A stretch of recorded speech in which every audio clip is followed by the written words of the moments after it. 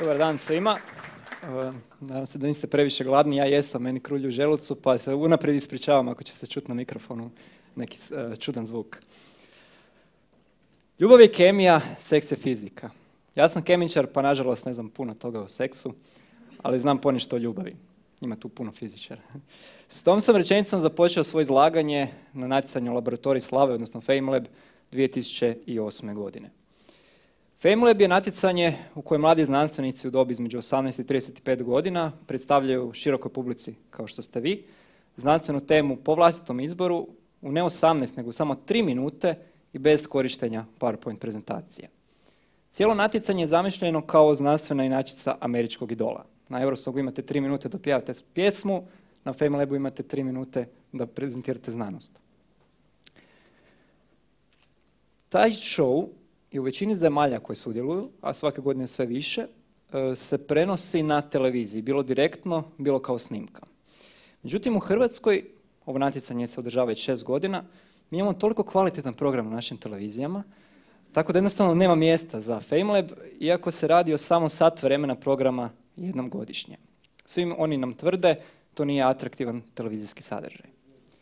Taj po nama neatraktivni televizijski sadržaj te iste 2008. u Turskoj je pratilo 20 milijuna ljudi. I to zamislite u izravnom prijenosu na nacionalnoj televiziji u subotu u 8 sati na večer. U Velikoj Britaniji gdje je isto to natjecanje osmišljeno, pobjednik cijelog šova dobiva ugovor sa televizijom, svoju vlastitu znanstvenu misiju koja je kasnije vrlo uspješna. No dobro, vratimo se na početak, seks. E, nakon što sam 2008. svima priznao kako ne znam ništa o seksu, e, krenuo sam učiti pa do 2012. sam naučio ponešto, a najvažnije što sam naučio je da seks prodaje. Otkrio sam toplu vodu, svi već to znamo. E, budući da sam u svom izlaganju koristio ključne riječi ljubav i seks, moja pobjeda je dosta dobro medijski popraćena u vrlo kratkom periodu dao sam preko 40 intervjua za različite televizijske postaje, radio stanice, tiskovine. E, što više uspio sam čak i komercijalizirati svoju prezentaciju, otkupila jednu farmaceutska industrija u propagandne svrhe za jedan njihov proizvod.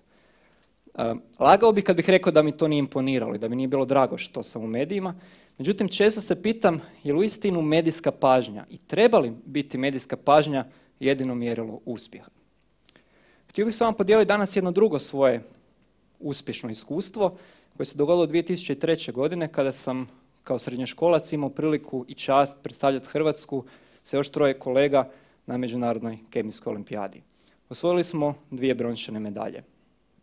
Tada smo također medijski pokriveni sa točno jednim pojavljivanjem u medijima. I to na duplerici jednih dnevnih novina. Da budem iskren, na donjem dijelu duplerice, u dvije rečenice, to su one te kratke flash vijesti koje vam popunjavaju prazni prostor, pisalo hrvatski reprezentativci osvojili su dvije brončane medalje. A ostatak duplerice pokrivala je vijest o jednoj drugoj olimpijadi, olimpijadi golubova listonoša. Nitko ne ide na natjecanje iz kemije, kemijske olimpijade radi neke medijske slave. Međutim, ukoliko nema medijskog praćenja ovakvih aktivnosti, nema ni sponzora. I nažalost moram reći da će se ove godine dogoditi po prvi puta, nakon što Hrvatska šalje, 11 godina koliko Hrvatska šalje naše natjecatelje na ovo natjecanje, i 28 medalja koji su ti natjecatelji osvojili za Hrvatsku, mi nećemo poslati našu reprezentaciju na natjecanje. Nema novaca. Od 2005. radim u timu koji priprema te učenike za natjecanje i iz prve ruke mogu reći da ima stvarno fantastičnih klinaca. Pardon, učenika, jel? Uh, jedan od primjera je Filip Vranješević. Ja bih vas molio da dignu ruke oni koji su čuli za Filipa Vranješevića. Ima li netko u publici? Jedan. Wow, ok. Filip je sudjelovao čak na tri kemijske olimpijade, ja sam sudjelovao na jednu, on je na tri. Osvojio je srebro, zlato i broncu. Dakle, ima čitav set medalja doma. To je rijedak slučaj ne samo u Hrvatskoj, nego u svjetskim razmjerima. Dok mi ovakve olimpijade marginaliziramo i niti nemamo novaca za poslat natjecatelje, sva vodeća svjetska sveučilišta se pobrinu da imaju svoje skaute tamo kako bi one najbolje pridobili za sebe. Naravno, odveli su i Filipa. Zato što mi ne pratimo takve sadržaje, naše nove generacije učenika neće dobiti niti priliku biti poput Filipa, jer ih nećemo niti poslati na ovakvo natjecanje. Svi ste čuli za Gaussovu krivulju. Obrazovni sustav u Hrvatskoj, bilo gdje u svijetu, rađen je za prosječnog učenika. To su ovi u sredini. U definiciji to tako i to zapravo nema ništa loše. No, postavlja se pitanje šta je s onim učenicima koji strše, koji se nalaze na rubovima te krivulje. Ove na ljevoj strani nazivamo djeca s posebnim potrebama, a ove na desnoj strani nadareni učenici. E, moja mama je srednjoškolski profesor, ona se bavi ovim srednjim dijelom. Sestra je defektolog, ona se bavi ovima, a meni su ostali ovi desni ekstremisti, ovaj nadareni učenici. Kada se sestrom raspravljamo o problemima na koje nalazimo u našem radu, oni su zapravo isti i daju se svesti u samo jednu rečenicu, a to je da sustav uglavnom ne zanima tih nekoliko postotaka učenika koji se nalaze na svakom rubu krivulje. No kad sustav zakaže, entuzijazam kolo vodi. Kada sam prije šest godina postao dio takvog jednog entuzijastičkog kola, e, nisam niti slutio da će mi pojmovi poput godišnji odmor ili slobodno vrijeme postati nepoznanica. Postao sam dio jedne ljetne škole znanosti koja svake godine okuplja 30 učenika iz čitavog svijeta koji dobivaju priliku 10 dana raditi na malim znanstvenim projektima u grupama od 3 ili 4 učenika iz područja fizike, kemije, biologije, informatike, strojarstva, pod vodstvom mentora koji je ili student ili poslijediplomski student ili postdoktorant. Program je vrlo intenzivan, radi se cijeli dan, još su na večer različite radionice i predavanja i osim jednog dana kad je izlet, naši polaznici nemaju baš puno slobodnog vremena. I te prve godine kad sam došao na školu nisam točno znao e, što me čeka. Dobro sam se pripremio, nakon štreberski sam pristupio problemu i vjerovao sam kako sve znam, ništa me ne može iznenaditi. E, dobio sam četiri polaznika na projekt koji su me vrlo brzo uvjerili da i ne znam baš sve. Ja sam njima nešto predavao, objašnjavao, oni bi me propitivali i neko vrijeme bi ja davao relativno suvisle odgovore, no u jednom trenutku dođete do nekih fundamentalnih pitanja koja vi ne razumijete, zapravo shvatite u tom trenutku da ih ne razumijete i možete reći jedino ne znam. Ne znam, ali ćemo zajedno saznati. I krenete učiti skupa s njima.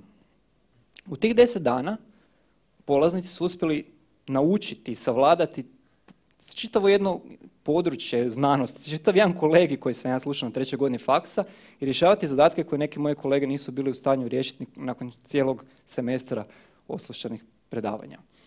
E, posebno me dojmio taj njihov, njihov žar za znanjem. E, toliko su željeli raditi, naučiti novoga, htjeli više, da bi u slobodno vrijeme radili. Često smo morali po noći mi voditelji organizirati straže kako bi ulazili u njihove sobe, uzimali im kompjutere i knjige kako ne bi radili po noći, nego bi se naspavali za drugi dan jer ne bi mogli raditi. E, potpuno su me iscrpili i kad sam došao doma, spavao sam te godine više nego kad sam se vratio nakon maturalca doma. Edukacija je droga za znanstvenike. Lako se navuku jer se rezultati za razliku od znanosti vide gotovo preko noći. Riječi su Korada Korlovića, čovjeka kojeg iznimno cijenim i poštujem, mogu bi reći našeg kolovođe koji je već preko 20 godina u sustavu rada sa nadarenim i motiviranim učenicima u Hrvatskoj i koji je svojim entuzijazmom privukao mnoge nas mlađe entuzijaste u svoje kolo. Kao i mnogi drugi, ja sam se navukao i nastavio sam se vraćati na školu i s vremenom sam postao organizator.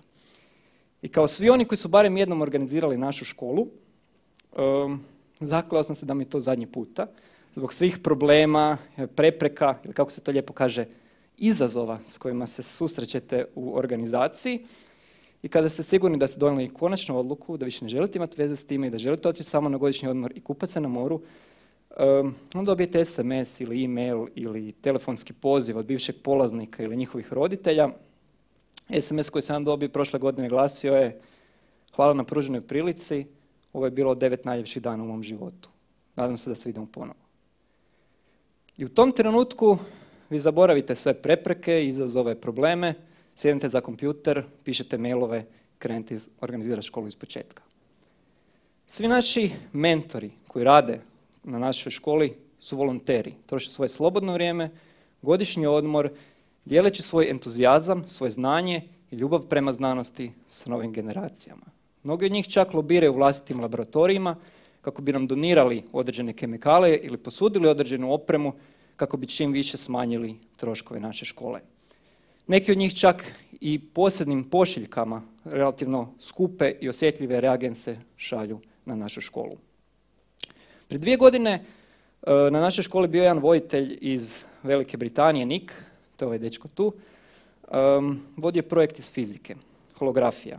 Holograme su radili i moraju donijeti iz Londona hrpu opreme, lasera, osjetljivih stvari. I naravno, kako smo mi štedljivi, mi smo kupili najjeftiniju moguću aviokartu, najjeftinijeg mogućeg avioprijevoznika sa najmanjom dopuštenom prtljagom. I kad je čovjek stavio lasere u torbu, shvatio da ne može ništa uzeti od osobnih stvari.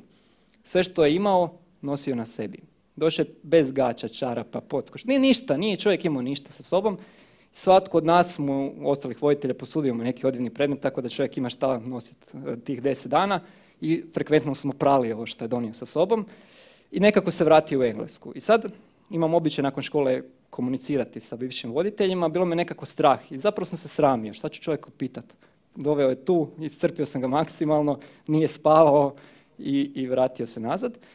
Međutim, on je bio toliko oduševljen školom, e, tim cijelim entuzijazmom koji se tamo događa i tim polaznicima, da je jedna od svojih polaznica s projekta, znači Barbara, osigurao stipendiju kod sebe u Labosu i ona već nekoliko tjedana nakon škole, dakle to isto ljeto odletela u London kod njega i radila na njegovom znanstvenom projektu zajedno sa ljudima koji izrađuju svoje doktorate ili koji su već doktorirali, a ona je tek završila treći razred srednje škole. Posebno mi je draga ta veza koja ostaje između polaznika i bivših voditelja. E, mnogi od njih se vraćaju u laboratorije svojih e, mentora, tokom studija rade e, diplomske radove, radovi za rektorovu nagradu.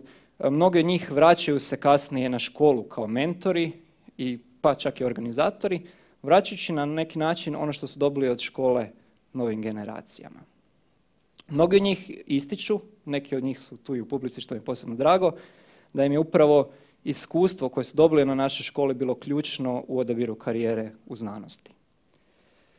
Nažalost, mi nismo prepoznati od sustava i bez velike podrške brojnih laboratorija sa različitih istraživačkih instituta i sveučilišta iz zemlje i inozemstva ne bi bilo uopće moguće održavanje ovakvog programa. Također to ne bi bilo moguće bez određenog broja privatnih kompanija koje to ničim izazvane e, ulažu neke novce u nas, bez obzira na to što i mi ne možemo omogućiti gotovo nikakvu medijsku promociju.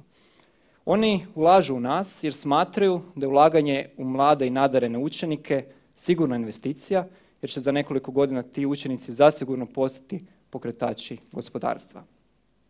Mi nismo jedini. Uz nas u Hrvatskoj postoji još nekoliko programa koji rade sa mladim, nadarenim i motiviranim učenicima svi se nekako pokušavamo spojiti zajedno, surađivati, izmjenjivati iskustva, predavače, voditelje, zajedno nastupati u, u određenim e, akcijama. Međutim, bez potpore sustava neminovan je gubitak određenog dijela učenika. E, onih nadarenih učenika koji jednostavno nisu nikad čuli da mi postojimo. E, svih onih učenika koji su čuli za nas, koji su se prijavili na naše programe, ali zbog limitiranih resursa mi ih nismo u mogućnosti primiti svih onih učenika koji žive u malim sredinama, u kojim se osjećaju usamljeno u tome što rade, gdje nema nikoga ko bi ih prepoznao kao motivirane i nadarene, koji bi ih usmjerio da maksimalno iskoriste svoj potencijal. Država koja ima narazvijeni sustav rada s nadarenima je Izrael.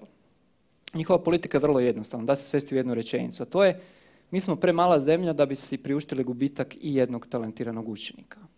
Ja bih dodao, Hrvatska je također mala zemlja, Imamo puno nadarenih učenika, krajnje vrijeme da iskoristimo taj potencijal, nemojmo ga prosuti. I završio bih s rečenicom Dereka Boka koji kaže ako mislite da je edukacija skupa, probajte neznanje. Kad sustav zakaže, entuzijazam kolo vodi. Entuzijasta će uvijek biti i siguran sam da se to kolo nikada neće zaustaviti. Zamislite kako bi tek lijepo bilo kad bi sustav zaplesao zajedno s nama. Hvala lijepo.